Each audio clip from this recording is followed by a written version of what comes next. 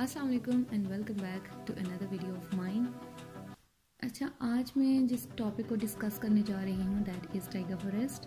और tiger forest आपकी screen पे आपको नज़र आ रहे होंगे, कुछ इस तरीके से दिखते हैं और इनको बोरियल फॉरेस्ट भी कहा जाता है। टाइगर फॉरेस्ट के अंदर अगर प्लांटेशन की बात की जाए तो यहाँ पे जो ज़्यादातर जो प्लांट्स हैं दे आर कॉनिफर्स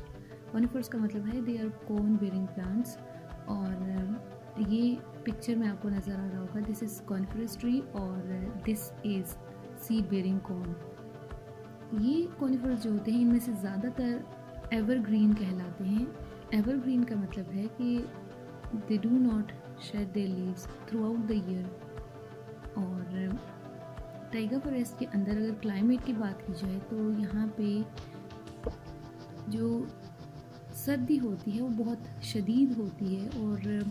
गर्मियाँ जो होती हैं वो हल्की फुल्की होती हैं। और अगर यहाँ पे बारिशों की बात की जाए तो बारिशों का यहाँ पे जो लेवल होता है एनुअली वो almost moderate to high rainfall होता है। और इसके अलावा यहाँ पे ये जो आपके पास बोरियल फॉरेस्ट है या टाइगर फॉरेस्ट है, इसकी कुछ हिस्सों में जो सॉइल की लेयर होती है दैट इज़ परमानेंटली फ्रोज़न और इस permanently frozen layer of soil को परमाफ्रॉस्ट कहा जाता है। As you can see in the picture ये जो आपको फ्रीज लेयर दिखाई जा रही है दिस इज़ कॉल्ड परमाफ्रॉस्ट इसके अलावा यहाँ पे जो वाटर ड्रेनेज सिस्टम है, वो बहुत पुअर होता है क्योंकि एक तो परमाफ्रॉस्ट की वजह से और दूसरा due to the presence of the layer of rocks just below the soil surface और यहाँ की जो सॉइल है that is acidic and it is also poor in minerals and nutrients अगर यहाँ पे मौजूद ट्रीज़ की अडेप्टशन की बात की जाए, यानी वो कौन से कैरेक्टरिस्टिक्स हैं यहाँ के प्लांट्स के अंदर जो उनको इस मौसम में, इन कंडीशंस में सर्वाइव करने में मदद करते हैं तो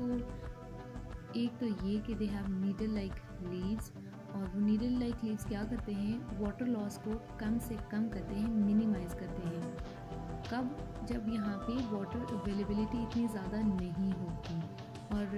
एक और काम ये भी करते हैं कि जब इन पौधों के ऊपर बर्फ़ गिरती है स्नो फॉलिंग होती है तो ये जो नीडल लाइक लीव्स हैं, इन पर से स्नो को शेड करना पौधे के लिए ईजी होता है as compared to the plants with the broad leaves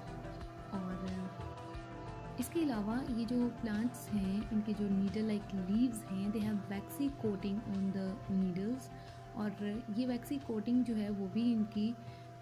water loss को कम करने की स्ट्रेटजी है। यानी ये वेपोरेशन के रेट को कम करते हैं मिनिमाइज करते हैं। और इसके अलावा इनके जो लीव्स होते हैं they are dark in colour and as they are dark in colour तो ज़्यादातर जो आपके पास सनलाइट होगी, उसको मैक्सिमली ट्रैप कर सकेंगे, ज़्यादा से ज़्यादा एब्जॉर्ब कर सकेंगे। और इसके अलावा कॉनिफरस ट्रीज जो होती हैं, उनके दे ब्रांचेस रूट डाउनवर्ड और ये डेप्टेशन भी इनको एक्सेस जो स्नो है फालतू जो हमारे पास स्नो है, उसको शेड करने में मदद देती है और इनकी ब्रांचेस को टूटने से बचाती है। ये तो हो गई सारी प्लांटेशन की बातें। अगर हम अब अगर बात की जाए एनिमल्स की, यहाँ पाए जाने वाले एनिमल्स की टाइगर फॉरेस्ट के अंदर तो हम देखते हैं कि यहाँ पे हॉक्स पाए जाते हैं, यहाँ पे आउल्स पाए जाते हैं, यहाँ पे बुलबरीन्स पाए जाते हैं, इसके अलावा लिंक्स पाए जाते हैं यहाँ पे। और ये तमाम जो एनिमल्स हैं, ये क्या काम करते हैं? क्योंकि यहाँ पे मैंने पहले भी आपको बताया कि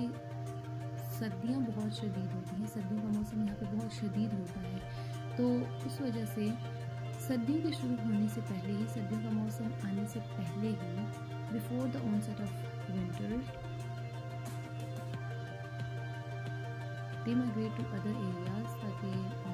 अपनी ज़िंदगी आसानी से वहाँ पर गुजार सकें, एक मॉडरेट से इन्वायरमेंट या टेम्परेचर के अंदर।